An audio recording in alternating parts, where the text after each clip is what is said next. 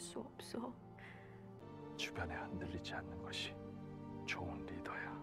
너만의 능력으로